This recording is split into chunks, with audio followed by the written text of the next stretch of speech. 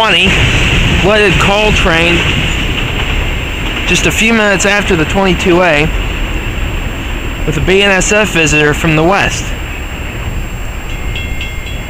Hope you enjoyed.